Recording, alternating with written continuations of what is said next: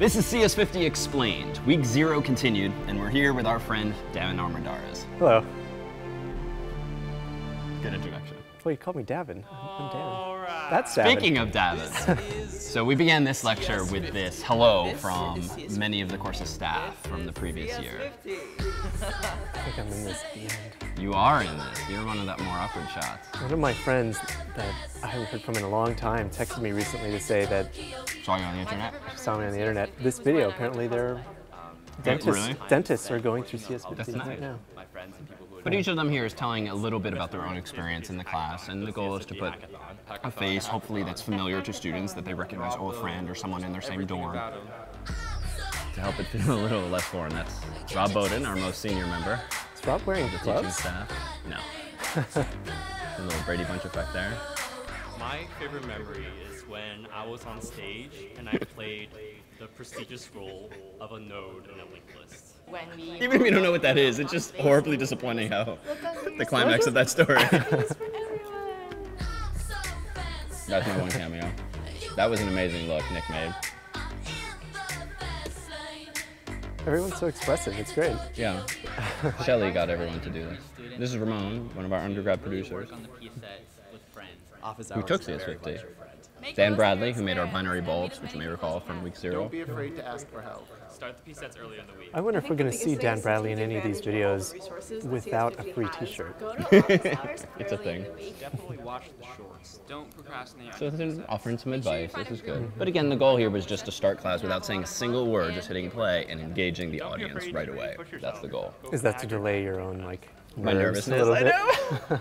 no, this was planned far in advance. CS50 is really great at providing ways to get help. My one piece of advice is, There we go. is sleep. Has anybody said that? Oh yeah. Sleep, for sure. Um, it's easy. It's bad I didn't wear that same that You same just outfit. talked just over the funny part. Why? You were What? fun. You were unintentionally funny here. Say, We Unintentionally. got a, we got a good laugh in the audience. Was it unintentional? Because you're gonna love it. I think we'd assume so. There's Shelly, who put this together. It's is CS50. Dolce. CS50. Oh, there's Dan Armendariz. This is CS50. You know, it's funny. Our motto, if you will, this is CS50, happened completely organically, whereby a few years ago, one of our first websites for the course had different links to like lectures and sections and problem sets. And each of those web pages had a title like lectures or sections or problem sets. But then, of course, there's the index.html page or equivalent, which doesn't really have a name, and saying homepage feels kind of lame. And it used to say welcome. And then I think on a whim one day, I decided to be kind of cute, as I thought, and just said, okay, what is that? This is CS50, period, save. And just thus was born the new homepage. And then one of our teaching fellows, uh, Yuki Yamashita from a few years ago, uh, adopted this essentially as our slogan, uh, presumably thinking I put way more thought into it than I actually had. But it's actually come to, I think, be a very apt statement um, to describe any number of things that we actually do in the course. This is CS50. I think everyone just assumes you put a lot of thought into that. You- Normally I is, do, and yet that just happened very organically. Also, you said a few years ago. Do you mean eight years ago? Uh, that probably happened, I think I did that in 2008 or so. He's gone on to do Maybe, give or take, yeah. More. Um, now, what's pictured here is actually Ansel three Now this this is actually a sweater. It's not a sweatshirt, but in retrospect, it looked a little more casual than I intended that first week. Are you critiquing your own I am the choice? wardrobe, Wow. uh, which was Okay. provided by Malan here. um, but someday we'll, we'll chip away at that. Since CS50 is staff and now students this semester has its own It was only on.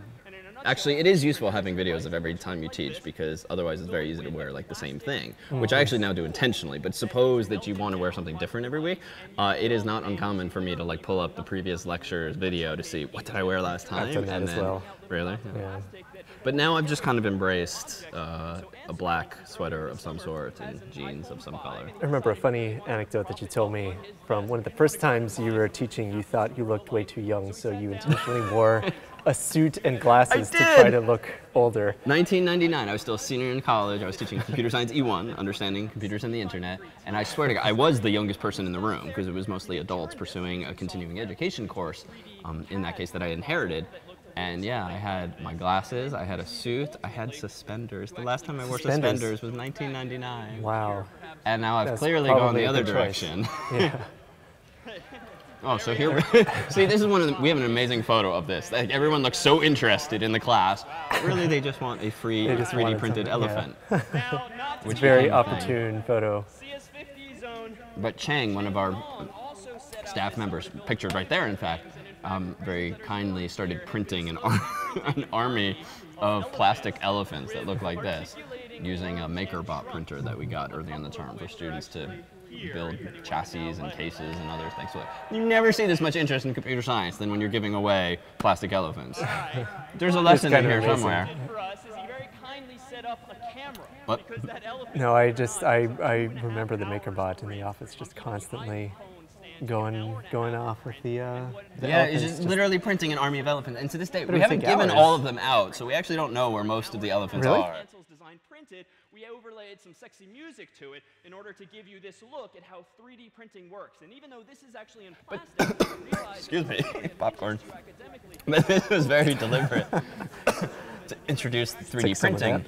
So this is very right now, 2014, 2015. 3D printing is very much in vogue, even though I think the state of the art is a little ahead of its time. It, the, the machinery does not work particularly well, certainly not for complex uh, objects. well, just the the consumer machines probably. The but- consumer machines, yes, yeah.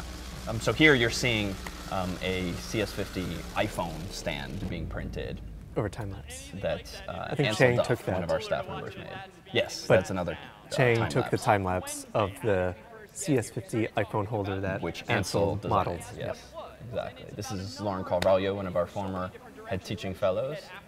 Here I have, I think, another phone book just to tie together the previous class. We're not going to tear this one again, but the goal of the second class, which for Harvard happens at the end of the week on a Friday instead of a Wednesday, um, it's probably a large intersection of students who came to the first lecture. So we don't want to rehash material, but I do kind of want to tie things together and give the students attending for the first time a mental model, at least for what they missed, even though, of course, the video was online. I do want to point out that in the last video we were talking about the old uh, binary uh, example that you had where you had eight students up on stage and each one had a sheet of paper representing each place and then you would ask them to raise the appropriate ones for a given number. Um, that didn't happen. Are we going to see that this week? So it varies by year, to be honest. Like, especially since everything is available online, and especially since these days there's a non-trivial number of students who partially engage with the semester and then come back the next semester to take the actual class. I'll admit I just have misgivings about reusing the same material again and again, so I try to vary it just a little bit. So the short answer is it depends by semester. Sometimes I deliberately omit or introduce different things just to vary it a little bit. And also because we've started to see, especially with the online offerings of CS50 through Harvard's Extension School for continuing ed credit and also through edX, uh, the MOOC version, a lot of students come back the next year and re-engage and try their hand at the course again or just go through it to fill in some gaps or reinforce material. So my hope to some extent is that even the second iteration of a course for someone is still engaging for them and it's not just a replay. So here we are just rehashing briefly um, or looking back at the pseudocode we came up with last time. Well, it's interesting you mentioned this that you try not to go over material multiple times across iterations. Um, so why do you spend so much time at the beginning of the next lecture going over material that they would could presumably rewind and watch? So this is a little anomalous because this is Harvard's so-called shopping week, where students are coming and going and uh, sitting in on any class they want without yet registering. And so the goal here was just again to make sure that one, students who missed Wednesday had a little bit of a context for what they missed, but even for the new the students who were with us on Wednesday to give them a bit of reinforcement of the material. Right? They probably just attended four, eight, 16 classes over the course of just two or three days because they're sitting in and popping out. Um, so I wanted to make sure everyone was still comfortable and that they didn't worry that this is going to be one of those classes that accelerates super fast, and if they miss it once, that's it for the term. On occasion, I'll still look back briefly at what we did last time to just kind of tie the lectures together. And also, even though, yes, it's on video, in a room full of hundreds of students, surely not everyone is going to be so diligent as to go back and watch the tail end of a lecture, for instance, to tie it together themselves. So that's a role we can play. might formalize the algorithm or the process by which we could take attendance. So, No. I well, mine is just a technical note. You'll see that the microphone I wear these days, it used to be a lapel mic, something like I'm wearing right now. But if you're moving around a lot and it has some weight to it, like the cable does, it tends to tug on your shirt. And so, stupid fun fact: for years, people assumed that I always wore V-neck sweaters. I have never once worn a V-neck sweater in class. In fact, I hate V-neck sweaters, but it always looked like it because of the weight. And so we finally, at a conference called NAB, National Association of Broadcasters, found a microphone that does not do the sort of Britney Spears style thing where the boom mic comes all the way to your mouth, but rather it sits just at your sideburn, which has actually been great because it's pretty minimalist. You see it walking around um, on the video, but at least for the audience, it doesn't look like you're you know, giving a motivational talk or something like that. does look a little uh, American Idol though. A little bit, yeah, but at least it's not across your cheek, which I just think looks ridiculous. Also, I hope. Did you make that comment because I'm wearing a, a V-neck shirt right now? Well, it's not really a V-neck. It's more of a normal collared shirt that's forming, Well, no, but the forming a V. I don't know what's under there. Okay, Yeah, that's probably for the best. so what's going on here with the? Uh, So this is a video that our friends at TED put together. They emailed me um, a couple years ago now and asked if I might like to contribute a script for a, an animated um, educational video. And so I wrote a script explaining what an algorithm was, using counting of people in a room and as an example, which is something we actually do in class quite often. And they then uh, proceeded to animate it in this way.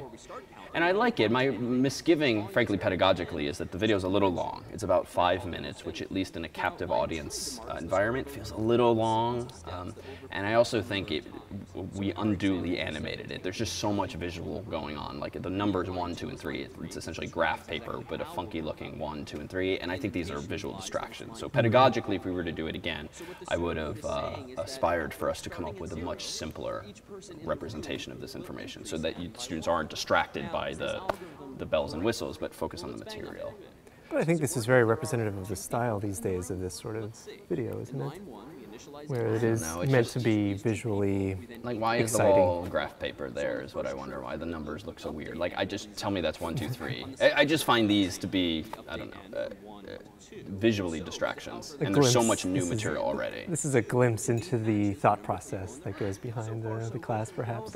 Well, uh, I think I'd have to listen really closely. I think we're actually playing the video back at 1.1x speed here too. Oh, really?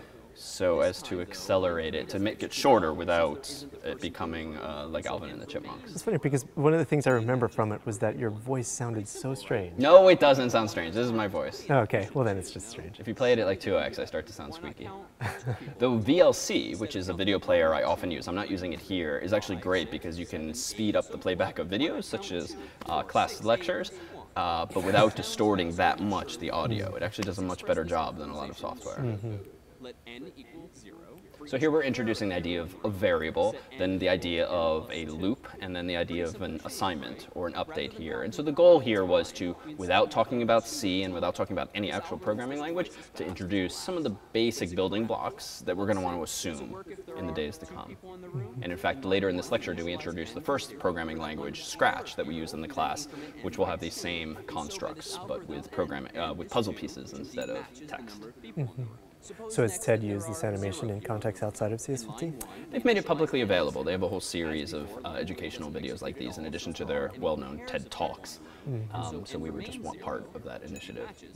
So it was great. Hands down, it's it's been a wonderful resource online. Um, and even we use it in class on occasion, so I'm really just nitpicking when I say if I were to do it again, I would have trimmed my script, made it tighter um, to help us spin through this faster. There isn't another full pair of people in the room, But what you're about to see too is right now I'm using the algorithm counting by twos, which works great if you have an even number of people in the room. But if there's an odd number like zero or one or three or more, then of course this is going to be buggy, which is just a little creepy with the bugs crawling on the code. Um, but the goal here is to now introduce the uh, handling of a corner case. Like, what if there is an odd number of people? How do you handle that? And I propose to introduce it here. In retrospect, excuse me, got to lay off the popcorn. There is a nuance here that I think was lost on me at first, whereby I deliberately used the syntax for each pair of people in room, but a number of people online in YouTube comments and the like have pointed out that that could be interpreted combinatorically as for every possible pair of people in the mm-hmm. room, which would not be the, the math we want here. I just meant pair the two adjacent people. But I don't know if I regret the simple formulation of it there, because for each pair of people in the room, I feel is the simplest way to describe counting by 2s mm-hmm. But a fair point that even um, reasonable people, or unreasonable person and reasonable people can disagree. Mm-hmm. So you see a little foreshadow here. Normally we would try to hide such a thing, but we have three shopping bags and a table uh, filled with some peanut butter, jelly, bread, knives, uh, and plates for a demonstration that's on the horizon. And you're carrying around a bowl. Indeed, this is a glass bowl. For what purpose? I wanted to represent a, a variable or a container, Ah. and just to make super explicit what it means in a computer program to store some value, since at least in algebra, students probably think of x and y and z and the like as very abstract things. And I wanted to make a little more clear that we could put something physical into something else physical and think of that as a variable, something that stores some value. Excuse me. I remember finding this actually just a little confusing because it, it, Damn it. well, just because it, it kind of um, implies that that it holds multiple things. Yeah, I know where you're going with this. And and also, I was also a little bit confused that you have this object that is meant to be this container, and this container has a name, and yet it also has the the contents. So, if you Yeah. have you considered, so it sounds like you're you've already have like thought through. I haven't used that this. example since, um, at least in other teasers. I agree. Well, and to be clear here, you're objecting to the fact that the bowl can hold one golf uh, ping pong ball or two or three, and of course that's more storage. It's not using. It's, it's sending a mixed message that you can store multiple is, things right. inside of a bowl. Right, you're holding multiple of one object rather than Better might have been, frankly, to maybe view the binary bulbs, which are on this big metal chassis, as that is a storage container. And maybe we can make it look like that by actually putting a case around it or something like that. But that would be more representative of reality since there's eight bits and you just permute the pattern of ones that are on and off. Hmm. Either at the very beginning or the very end, depending on how you do it. And So here we're teasing apart in more verbal detail some of those concepts to make clear explicitly what the video was perhaps communicating a little implicitly. with someone else. So that's what we would call a condition.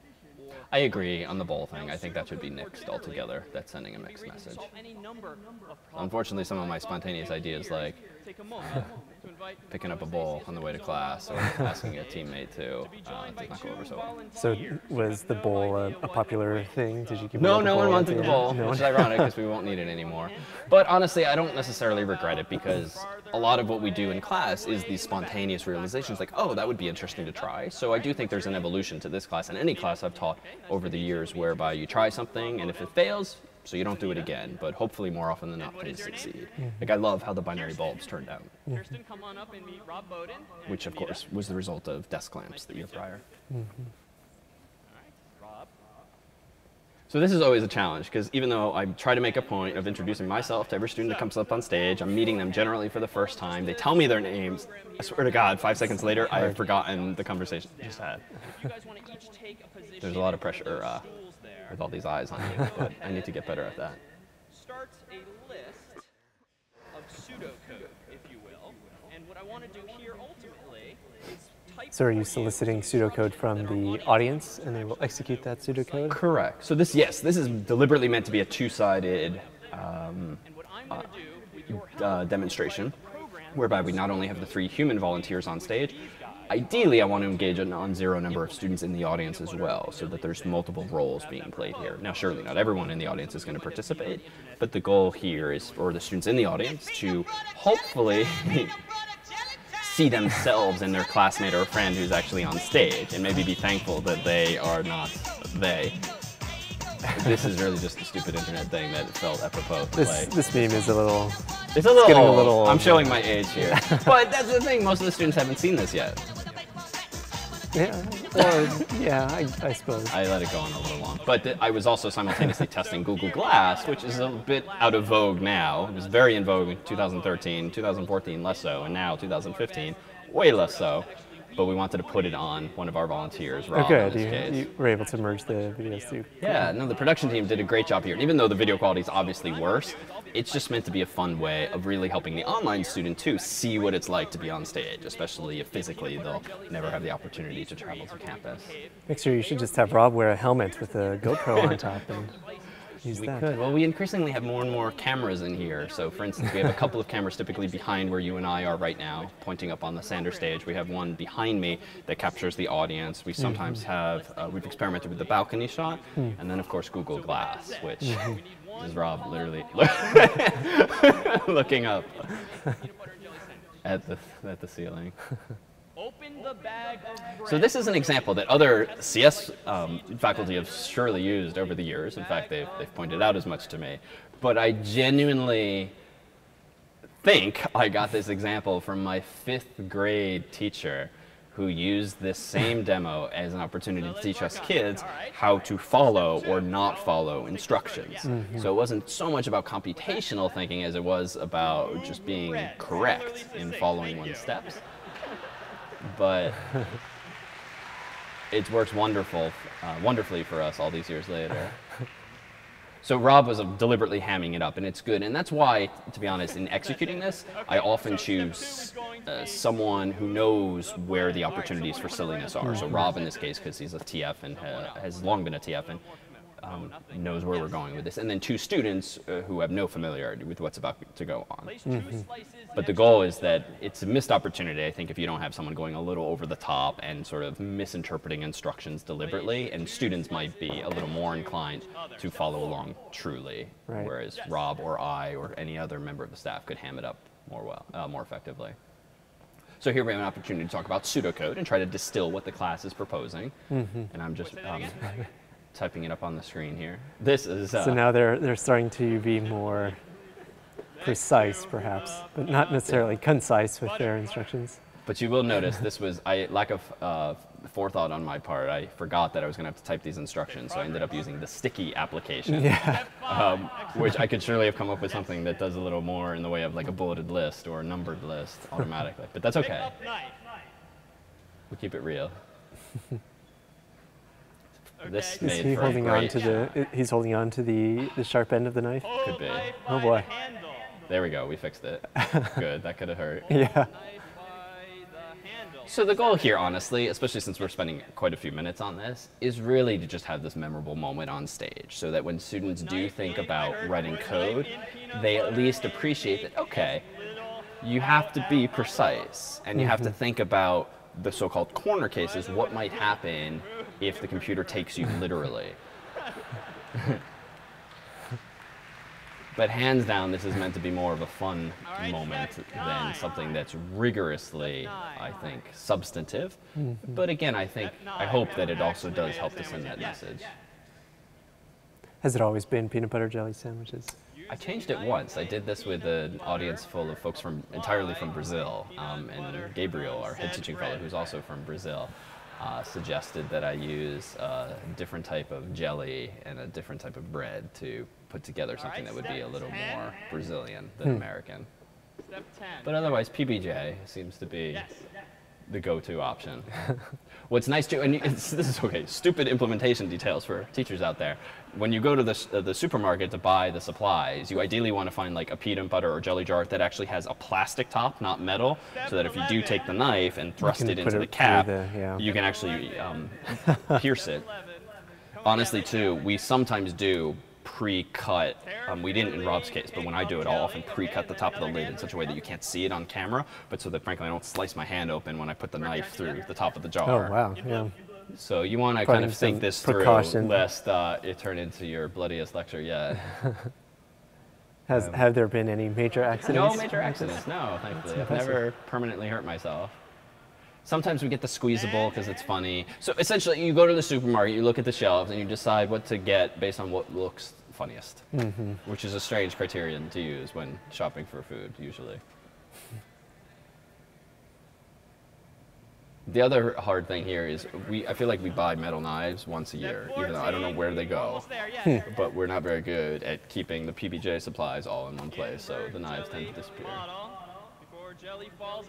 So this is obvi- this is obviously a horribly written program. Oh, it's yeah. just kind of devolving into a mess. But again, that's not the point here. Um, if it were, we would prefabricate these. But we also use this as an opportunity, often before class, um, in the form of a homework assignment. Not this year, but where we ask students to write a program in pseudocode for making a PBJ sandwich, and then I take a, a deliberately chosen sample of those submissions and act them out on stage. So that's another way of doing this as well. If you want to have a little more control over the pedagogy and the, the storyline. Place the cap Is there something other than peanut butter and jelly sandwich that would Cap from jelly. maybe not be so wasteful of food that we could? I know, I do always feel bad. But usually one of the TFs takes the food home to his or her dorm, so even though the Do they eat the uh, the final? Back to Uh, it's rare. that were There's often a lot of hands that go into making the sandwiches, so I wouldn't necessarily eat the first one. yes. Um, other food, I'm sure. I mean, my go-to is just PBJ, partly because of my fifth grade teacher. It feels like a nice little homage to that. Oh boy, drop That's a, all the jelly. this is good. vi- This is good TV. Almost there. Step It's too bad it's not on TV. Yeah, Rob's being a little extravagant with the bread usage here. we have a lot of like undo commands in the program, One essentially. more step to take this home. One more step, and then we'll. But you know what's interesting about these kinds of demonstrations, honestly, is that you really have no control over this. Like Rob and I did not rehearse this or talk through what he was going to do. I think it's more fun if it's just completely organic. But you have to yield control over the class, and you have to make sure that you can rein things in so that it doesn't devolve into just complete silliness. So I would generally say that I eventually feel you get a sense of the pulse of the class, and you decide, okay, it feels like we have time for like one or two more steps, and so I'll verbally say that, like, let's do five more steps or two more steps, mm-hmm. because I also think you don't want the audience members worrying that like this is dragging on and on, like why are they wasting my time? So you kind of want to bound things so that people mm-hmm. know you're going to move on to some new context soon. But hopefully those two students won't soon forget their participation in the second day of CS50 that year. Just take clarity For better or for worse. The fact that talking to another human, he or she This is me, my mic sometimes starts to slide off my ear, so we have some. Even when technical challenges and programming moving around so much. drag and drop So we've seen the desk a couple of times that you seem to use this fancy lectern. What a nice plant here for our own Ansel Duff. Yes, we did custom build that lectern. Oh, how fancy! So yeah, so we usually had for years a very traditional wooden lectern. That's very pretty, especially for the aesthetics of the theater. But like the top of it is permanently slanted at an angle that does not lend itself to typing very well, and it's also a very narrow surface, so I can only fit like one laptop and not that in the surface and something else in my notes. So Ansel, um, one of our graduating engineers at, um, at the college, um, spent last summer with us, and wonderfully has the skill set with which to do CAD or computer-aided design, and to actually build something um, in software. Is computer-aided design, computer-assisted design? I'm not sure. I think CAD. aided. Yeah, Aided? CAD. Okay. CAD design. So he was able, not CAD design, CAD. So he was able to create in software a three-dimensional model of the lectern, and then he and Dan Coffey, another uh, member of the team, provided feedback iteratively on what we thought might look best and function best. So there's a few secret compartments and shelves on which we store some of the various technologies we use. And yeah, and then he um, sent it out to a local shop to cut the actual metal and uh, to weld it together so that we have a custom lectern, which just, it's such a simple thing, but it was just easier to and more correct to build it. And being engineers, it felt like the right thing to do anyway, even though I didn't have that skill set myself. So he helped solve an actual problem for us. But this too, I think, is consistent with the uh, this is CS50 thing. Like, uh, I mean, how many of your classes at MIT and Berkeley had their own custom lecterns for one class? I mean, I'm not sure I would know. Well, it's probably zero, right? probably zero, Okay, let's say it's I'll zero. That's I'll what I it to you, was. That fine. was was trying to coax out of you there. Um, but that's representative of our having tried to solve some problem. And it's not perfect. We realized a few imperfections afterward. For instance, that front metal panel is actually pretty heavy, and we don't have enough um, magnetic strength on the magnets that are there. So uh, on occasion, it might fall down on you. Have you ever kicked it during a lecture? And No, but that would definitely kick it off. Um, so, like in software, version 2 could be even better. But it's definitely been a huge step forward for us. So here we're introducing Scratch, and what's I think key takeaway here, pedagogically, is that One, we're introducing this so that students realize that programming doesn't need to be about some arcane syntax using a keyboard, but can be very accessible visu- visually using puzzle pieces that snap together if it makes logical sense to do so. We spend just a few minutes really talking about Scratch. I try to give them the vocabulary like here's the stage, here's the scripts area, here's your palette of puzzle pieces or blocks, and then I point out a few of the most useful ones, the entry points, the loops, condition. But for the most part, we wave our hand at most of these puzzle pieces. And I think that's consistent with the fact that it's designed for students 12 or so and up in terms of age. So you don't need to spoon feed any audience the particulars because it's also just very accessible once you orient students, I think, within the software. Mm-hmm. So why do you choose to use Scratch as opposed to some of the other block languages like Blockly or Yeah, there's a lot now. There so there weren't in the beginning. So we introduced Scratch in 2007. To my knowledge, we were the first college level class to be using it, and that was completely fortuitous because as a grad student the year or two prior, um, I had sat in on Mitchell Resnick's class at uh, the MIT Media Lab, and he is the professor whose research group developed this uh, with John Maloney and others. Scratch itself, the software, and so he very graciously let us try it out in our own class the summer before, and then in CS50 and it's just worked wonderfully well. To be honest, they, they doesn't. There are no problems that we would be solving by transitioning to any number of other block languages these days. Um, and it's only gotten better now with Scratch 2.0. It's web-based, so that the projects are all the more accessible. Uh, it also allows you to create custom procedures or functions, which has been great, especially for our more advanced students. So there's a higher ceiling now for students. In fact, that's what we struggled with years ago with Scratch 1.0, there was, for the students with prior background or more comfortable in the class, there's only so much they could squeeze out of it that wasn't just easy and familiar. So we used to have a lot of physical scratch boards, little logic boards that connect via USB to a computer, and they allow you to touch buttons or turn knobs or generally provide environmental input to a program.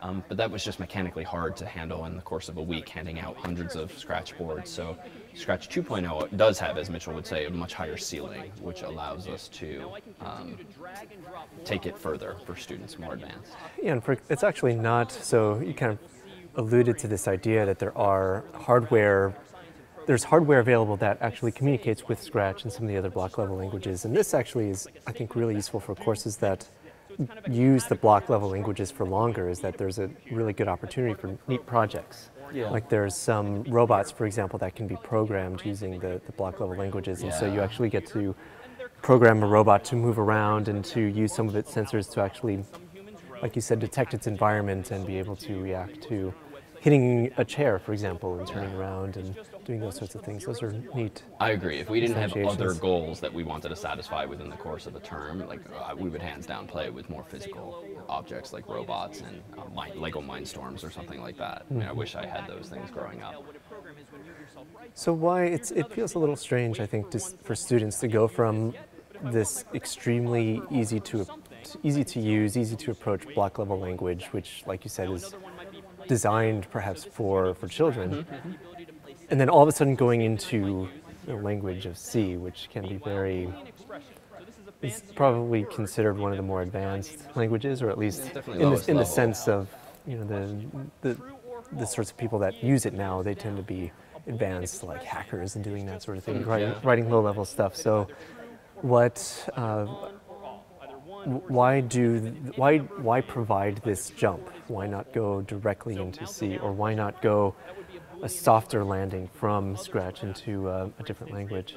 That's a good question. Definitely a leap from scratch to C, which we'll do at the beginning of week one. Um, but it is smoothed significantly by starting with scratch instead of starting with C. And by that I mean the fact that we're focusing today on concepts in most any programming language or most any um, imperative programming language like conditions and loops um, and statements and, and more, as we'll soon see we're giving them a mental model for some just very useful ideas that we even saw previously in the pseudocode, like searching for Mike Smith in the phone book, but now we're putting more words to it and also presenting it in another language, not pseudocode, but Scratch's puzzle pieces.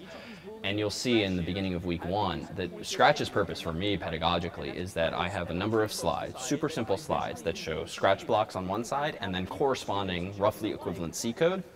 And for me, those slides are invaluable because I'm hopeful and I do sense that it does make a very strong connection for students between those concepts and the far less interesting aesthetics of C code. Whereas in any year past before the course introduced something like Scratch, you immediately do dive into that deep end. And not only do you have to wrestle with the idea of a loop or a condition or a statement, you also have to deal with the parentheses and the semicolons and the curly braces and all this other visual distraction that has no intellectual value really, certainly not in the first day, that ends up causing students more confusion and angst than is need be. So the, for us, Scratch is a bridge. It's a bridge from the intuitive understanding of programming and even pseudocode to the more arcane but more powerful, ultimately, C environment and the Linux environment that we then spend quite a bit of time in. talked about something that's interesting, which is that you want to talk about the concepts of programming more than the mechanics of it, mm-hmm. perhaps. And so that's why you introduced the block level language. So why not use the block level language for longer and relegate C to like you do PHP or JavaScript later in the class and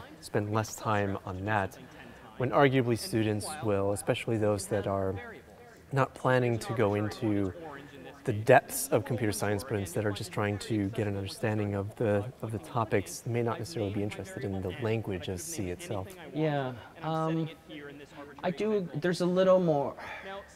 I think there's more runway in Scratch than we allow it um, because we don't talk in much detail about custom puzzle pieces and, for instance, the support it does have for procedures and argument passing. And I do think we could squeeze for something like CS50 a good two weeks out of it, and maybe even two problem sets. But I do think it's diminishing marginal returns over time. And while I think there's some untapped potential there for us, I certainly wouldn't want to spend a whole semester using something like Scratch alone, um, even with a much younger audience or broader demographic, because I don't think that it has um, sufficient opportunity to introduce some complexity and more sophisticated problem solving.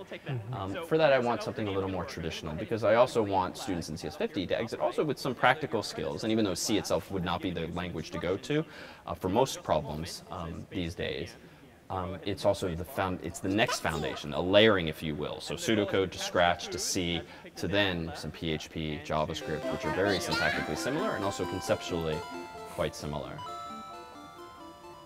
So I don't doubt we could have squeezed more time and value out of it, but again, I think uh, the inflection point for us would be within one or two weeks total.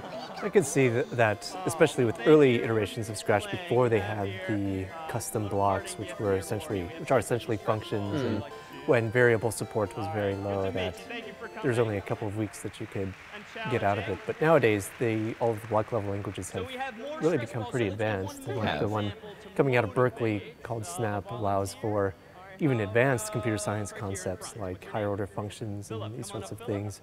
And so just to sort of reply to my own question with an example out of Berkeley. So Berkeley's introductory class CS10 uses the block level language Snap for the duration of the class. And uh, that works really well in some sense because the idea is you abstract away the need to learn all of the, the, the syntax of C, which arguably a lot of students probably struggle with, is that they oh, sure. forget a semicolon and, and trying to learn how, what the error message is when they miss a semicolon is maybe a non-trivial amount of time, that first time especially. But there are other issues that arise with it as well, and that is that these block level languages, especially by the end of a semester of a programming class, just become unwieldy. They're huge. The final projects coming out of these students are very, very large and uh, somewhat difficult for them to, Yeah, to deal with on a, on a, in, a, in, a good, in a good way, like we have I agree. And to be honest, the, the, the text-based languages. One of the goals for me with CS52 is just the practicality. Like I want students to be exiting in, with skills and savvy and conceptual framework that they can then go apply to actual problems in their own domains. Even if they never take another CS course, I want them to be able to go back to their pre-med curriculum or their humanities studies, social sciences, and actually have sufficient exposure to some very common and modern tools with which they can then apply. And so for me, with what we want to get out of CS50, which effectively is the combination of a CS1 and CS2 course all in one semester, is I just want us to cover even more. And spending a whole semester on a purely block-based or graphical language wouldn't achieve that particular goal. So with that argument, why not focus on some other tools um, that people outside of computer science would be very likely to, to use? So um, perhaps the idea of scripting a computer instead. So you, um, Sorry, I'm a little distracted yeah, these, are- this is actually pretty. actually But go on. funny. So some other, so something maybe even a little higher level, like uh, dealing with just as an example, macros in Excel, for example, which can be, which can require some elements of programming. Why not go into some of those rather than, oh, What? She gets better and better.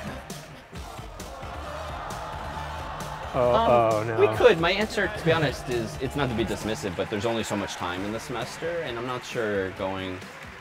Introducing students to an office-style application is among our goals, to be honest, or my own personal goals. I'd rather they have a lower level programmatic ability coming out of 50. Now let's actually proceed. And I should say, with regard to these Scratch programs, both of which involve volunteers coming up on stage, were very deliberately chosen. Every year I try to look at the previous year's submissions and I ask the teaching fellows to help chime in as to the most fun or most complex um, or most cute, uh, cutest programs that their students have submitted, so that we can indeed have students come up and also just visually and audially engage the audience. So we almost always choose something that's got some fun music, that's got some interactivity, some com- uh, some uh, competitive aspect to it, like point system or whatnot, so that students in the audience can really start to root for their classmates. If condition.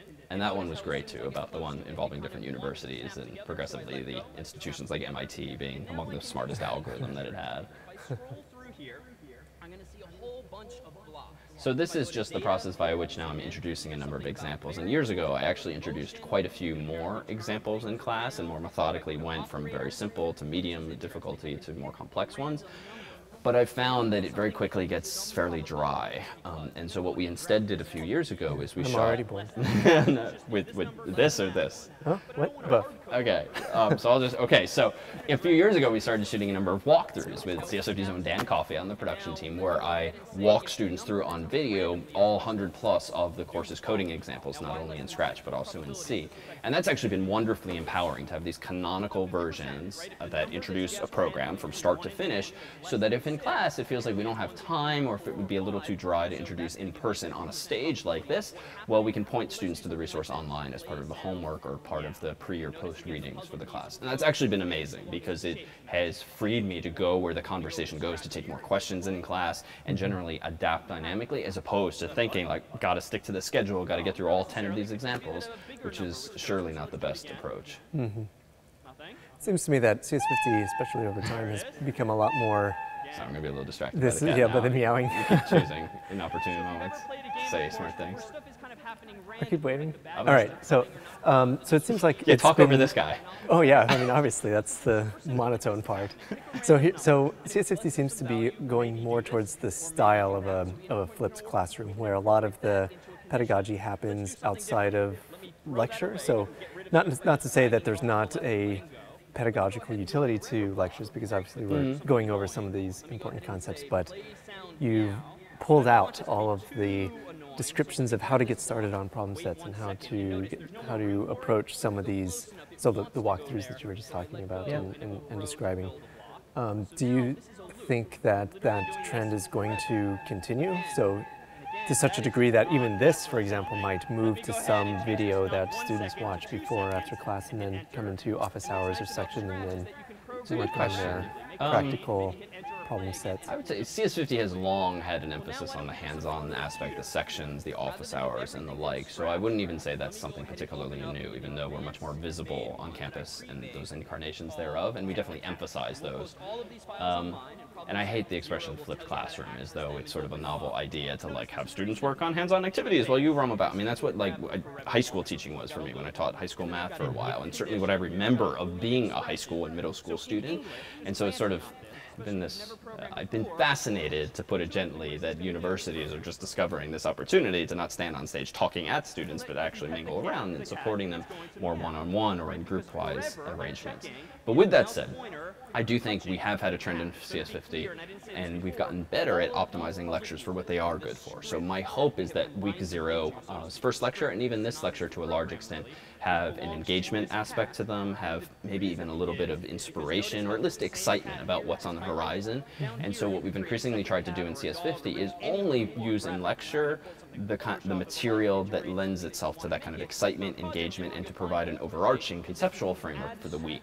And anything that would devolve into just guy talking on stage at students, let's try to factor that out and put it into a much more effective learning environment, which is very often self-paced, maybe video-based, so they can rewind, fast forward, look at the transcript, click on an example, and engage in real time. Because there's just too much risk in most any lecture of zoning out, as um, happens incredibly often, I'm sure, among students. It's happening right now.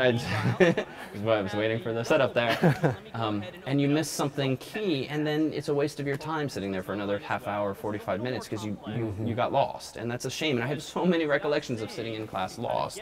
And so I'm trying to minimize that now. And indeed, we've decreased uh, the lecture's length from 90 minutes to 60 minutes. This coming year, we'll probably eliminate some of the lectures altogether that don't lend themselves to demonstrations on stage, to volunteerism, to interactive Q&A. Anything that's going to devolve into just me talking on stage at students, surely we can do better than that. So I don't think they're going to go away. Um, in fact, I do think they serve a valuable role in terms of engagement with the class, but I don't think they need to happen as frequently as they once did. And it's hard to give up because I'll admit I, this is the one of the aspects of the class that I love, even though it's a super small fraction of the time I spend on CS50, the lectures. It's by far one of the most fun things, but I think you need to let go of that and make the decision based not on what you yourself like or I might really like, and based on what feels best. And after all, there's always next year, so you'll have plenty of time to actually lecture if that's appealing. But I don't think we should do that um, just because we have a captive audience. The value of this variable that's apparently called muted. I didn't call it something boring like m. I called it an English word. And these examples are deliberately chosen and inspired by some of the, the examples online too, to use some of the iconography that comes with Scratch, like the seal and the, the Scratch cat itself, and choosing deliberately the most obnoxious uh, tone that you can so that students kind of remember that moment. And frankly, this too, I would say, is a theme in CS50. Almost always, if I can involve sound in a demonstration, or better yet, video, like we do. I mean, almost all the Scratch projects we demo in class have some audio component because I just feel it's more engaging. Mm-hmm. And it means I don't have to be the only sound. Students hear. The sheep example. And this is tricky here, so I was kind of jumping around deliberately for time's sake and also because I wanted to see, get the sense of the room as to where we should go. But it's hard sometimes, honestly, to jump around, um, even if you name the files in advance and all that. But I'm not mm-hmm. sticking to a script, I guess, is the takeaway. Mm-hmm. The only difference is we've changed the costume, so to speak, and we're having him say what that actual In number each of these examples, and this is distilled, I would say, in those walkthrough videos that I alluded to earlier, is meant to highlight some topic or some progression of complexity. Mm-hmm. So in this case here, we do indeed have a variable that's storing a count, and the sheep is saying as much.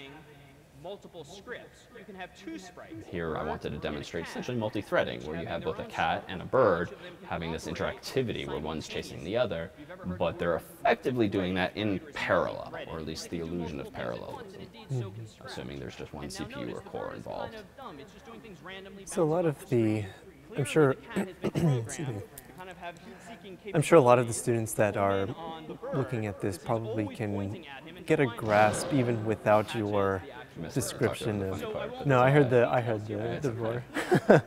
no, but um, I'm sure that many of them can kind of grasp what's happening because it's very. I mean, you can essentially read the, the, the script and it tells you essentially what is happening.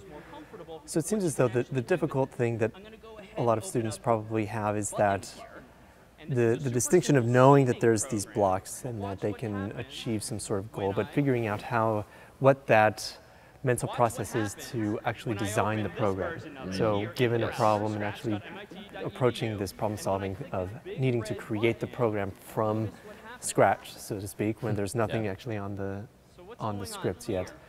So a lot more complexity going on under how how much is that so where in, in all of these different types of resources that you have available for students where is that uh, given to students? Like how can they get that information or how can they get that thought process That's in the problem set specification itself. So what we do is point students in the form of a long form narrative, so text written by me, um, intermingled with videos by Zamyla, who leads most of our walkthroughs.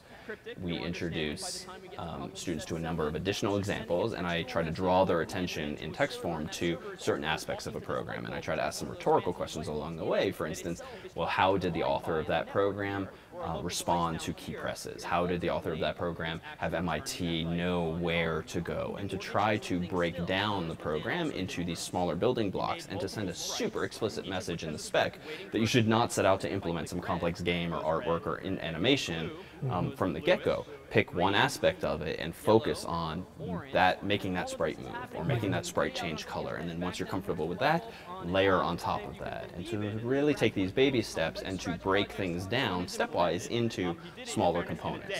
So we don't talk about it too formally until we get to actual c code but the goal in the pset spec is to help them realize that a fairly complex looking project is really just the result of some very small locally optimal decisions quite often. So would you say that? So I think that maybe one of the perceptions of the problem sets is that the specifications are just almost too long, like somewhat unwieldy. Um, it seems to me that an obvious way of of converting or bringing CS50 into, uh, like say, a high school setting where you do have a captive audience for some amount of time, might be then to talk about that. So to talk about the specification in, in the class and actually fair. go through that thought process absolutely of, of solving this problem. You could absolutely leave the P sets to be mostly just the exercises of the coding and the creation of the project, and then a lot of the narrative can be factored out and put into class. Mm-hmm. In our case, it's deliberate that it's in the P sets because I want them to be not just a regurgitation of what we did in class or an assessment of what we did in class, but themselves teaching opportunities. And very often, too, you're speaking to a more sort of core goal of understanding encapsulation and stepwise refinement and building a software from nothing Right. to something. But even some of the more mundane stuff like chmod and changing the permissions of a file, that does not really warrant time on the, the stage of this theater. But they should know the mechanics of making things world readable, accessible, um, executable. And so that's in the form of the spec. And we use that actually as an opportunity to talk about octal notation, which a Linux system typically uses. So that's a role too that the specs plays to continue the teaching, sometimes for uh, I think compelling pedagogical purposes, but also just some practical mechanical ones.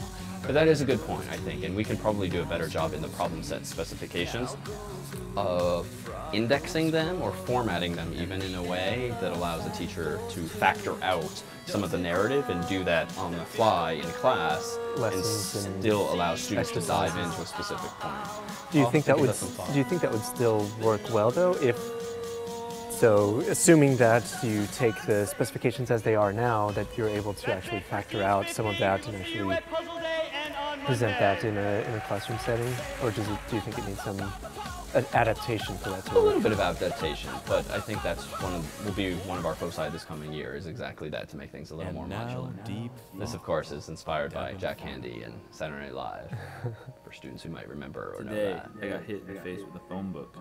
Confusing as I'm at home watching. it That's live. it. For CS50 explained with Zero.